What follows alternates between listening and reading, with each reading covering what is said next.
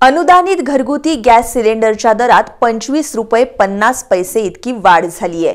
या गॅस दरवाढीमुळं महागाईचे चटके आणखी वाढणार आहेत. पेट्रोल डिझेल दरवाढीमुळं आधीच जनता हैराण झाली आहे. त्यातच आता तेल कंपन्यांनी जनतेला आणखी एक झटका दिलाय. तेल कंपन्यांनी अनुदानित एलपीजी सिलेंडरच्या दरात पंचवीस रुपये पन्नास पैशांची वाढ केली आहे. कच्च्या तेलाच्या किमती वाढल्यानं कंपन्यांनी घरगुती आणि कमर्शियल दोन्ही गॅस सिलेंडरचे दर वाढवण्याचा निर्णय घेतलाय. व्यावसायिक सिलेंडरच्या किमतीत तब्बल चौऱ्याऐंशी रुपयांनी वाढ करण्यात आली आहे. घरगुती गॅसच्या किमतीत यावर्षी दोन हजार एकवीसमध्ये सर्वाधिक वाढ झाली आहे. जानेवारी सोडून इतर जवळपास सर्वच महिन्यात गॅस सिलेंडरच्या किमती वाढल्यात. चार फेब्रुवारी रोजी तेल कंपन्यांनी घरगुती गॅस सिलेंडरच्या दरात पंचवीस रुपयांची वाढ केली होती. त्यानंतर पंधरा फेब्रुवारी रोजी पुन्हा पन्नास रुपयांनी यात वाढ करण्यात आली.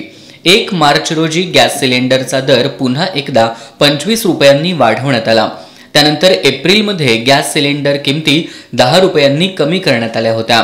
आता जुलैच्या पहिल्याच दिवशी पंचवीस रुपये पन्नास पैशांची वाढ केल्यानं आता घरगुती अनुदानित एलपीजी सिलेंडरसाठी आठशे चौतीस रुपये पन्नास पैसे मोजावे लागणार आहेत. सिलेंडर दरातील या वाढीमुळं किचन बजेट कोलमडणार आहे.